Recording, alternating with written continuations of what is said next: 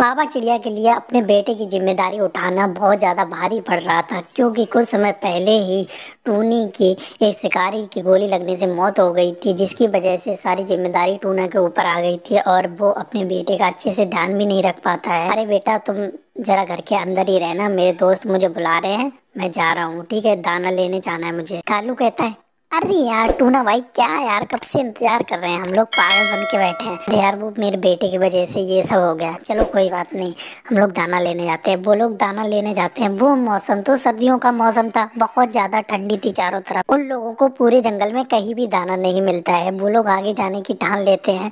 तब मिट्टू कहता है, भाई, हम लोग तो आगे जा रहे हैं। टूना कहता है, मैं नहीं जा सकता यार। मैं तो बिना दाने के ही जाना पड़ेगा। मेरा बेटा घर पे अकेला है। अच्छा ठीक है। कालू और मिट्टू तो चले जाते हैं। टूना बेचारा बिना दाने के घर पे ही चला आता है। उसका बेटा उससे कहता है, पापा, मुझे भूख लगी है, कुछ खाने को दो ना। अरे बेटा, मैं क्या करूँ? मैं दाना लेने गया था, लेकिन मिला ही नहीं। इधर मिट्टू टूना के घर पे आता है। वो उसके लिए दाना लेकर आता है। वो कहता है टूना भाई, आप ऐसे कब तक एक दूसरे के ऊपर डिपेंड रहोगे? ये लो, थोड़ा सा दाना मैं आपके लिए ले आया हूँ। हाँ आप ने बहुत अच्छा किया। मेरा बेटा भूखा भी था। तो कह रहा हूँ, आप दूसरी शादी कर लो। तो आपके बेटे का ध्यान रखे रहेगा और आप दूर तक दाना लेने के लिए जा सकते हो। तुम सही कह रहे हो। उसके बाद अगले दिन ही टूना दूसरे जंगल जाकर एक अनाथ चिड़िया से शादी कर लेता है और वो उसे घर पर ले आता है। वो अपने बेटे को दिखाता है, उसका बेटा पूछता है, पापा, ये आंटी कौन है? बेटा, ये तुम्हारी नई मम्मा है। मतलब सौतेली मम्मा ना, रानू चिड़िया तो उससे बहुत ज़्यादा प्यार करती थी, लेकिन उसका बेटा तो उससे एक परसेंट भी प्यार नहीं करता था। वो उसे सौतेली माँ ही समझता था।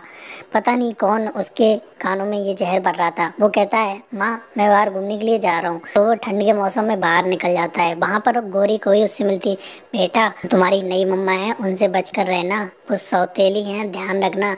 आंटी आपने जैसा समझाया, मैं वैसा ही कर रहा हूँ। किसी का घर तोड़ के मुझे बहुत अच्छा लगता है। मुझे अंदर से खुशी मिलती है।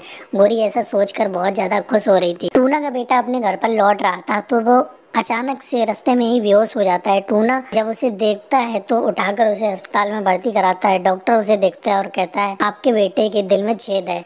अगर किसी दूसरे पंछी का दिल मिल जाए तो तो आपका बेटा ज़िंदा रह सकता है, नहीं तो उसके बचने की कोई उम्मीद नहीं है।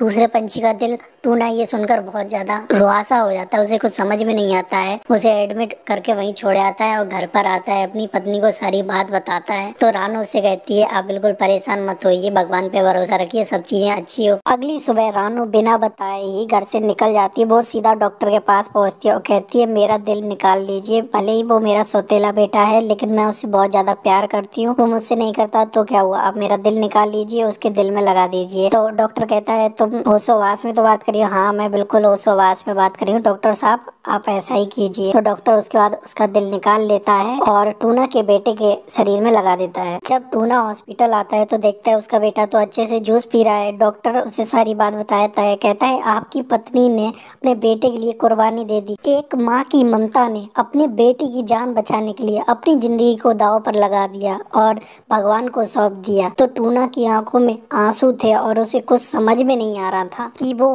रानों के लिए क्या कहे। उसे कुछ समझ में ही नहीं आ रहा था। वो मनी मन सोचता है, रानो, सच में माँ का दिल कितना ज़्यादा बड़ा होता है।